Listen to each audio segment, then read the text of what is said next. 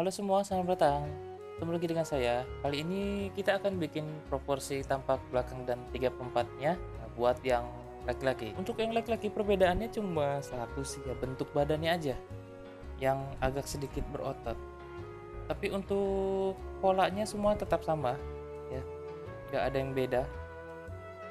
Oke, di sini gua bikin dulu pola-polanya.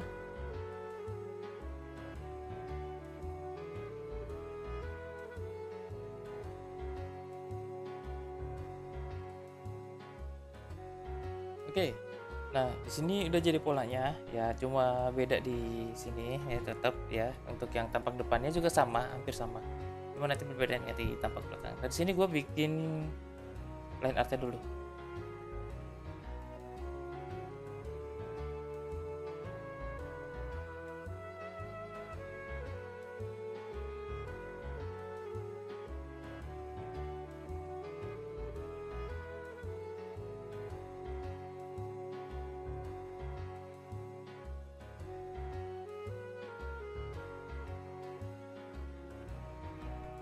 Uh, jadi ini untuk laki-laki yang tampak belakang. Dan untuk bokongnya ini beda banget ya. Nggak terlalu besar dan nggak terlalu bulat. Sebenarnya ini bokongnya kotak. Ya, kotak. Nggak nggak kotak sih. Uh, rectangle ada agak round gitu. Terus untuk bagian ininya ini sebenarnya nih uh, ada banyak ototnya ya. Ini ada diamondnya sebenarnya. Ini kalau misalkan kalian belajar otot di sini ada otot yang bentuk diamond. Tapi gua nggak mau bentuk otot dulu karena di sini kan bentuknya yang biasa. Jadi biar orang-orang bisa pakai juga eh, badan biasa. Nah sekarang gua mau kasih garis konturnya dulu.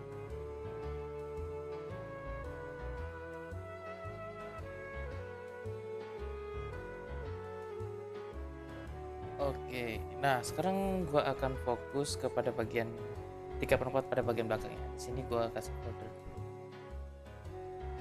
dan gua akan ambil bagian yang wah udah nyatu ya. Sekarang gua bikin garis lurus dulu ya biar sama. Ini gua kasih titik terus gua kasih sama sini. Oke nah ini, ini gua geser dulu. Panjangan oke sekarang kita akan kasih guide biar nah sekarang gue bikin dulu sketsanya. Ini hampir sama dengan yang perempuan. Yang tiga perempat tampak depan laki-laki juga hampir sama. Ya bedanya nanti bentuknya lagi. Sekarang gue bikin dulu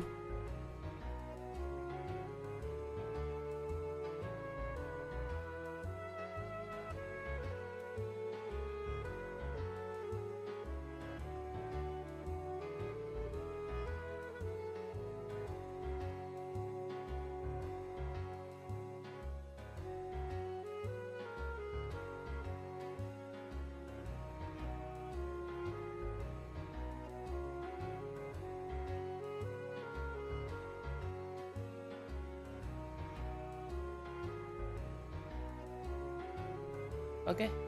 Nah, ini adalah bentuk 3 per 4 tampak belakang dari laki-laki.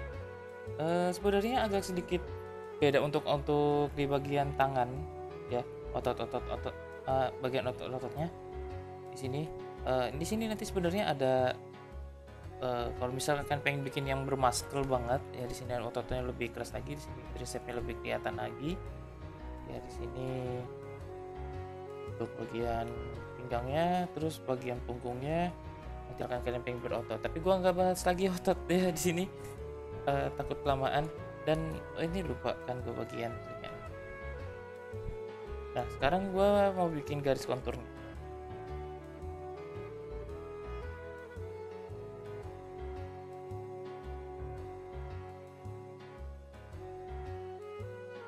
Oke sudah cukup. Ya semoga ini dapat membantu kalian uh, membuat badan atau tubuh anime laki-laki atau perempuan yang sebelum-sebelumnya ya videonya.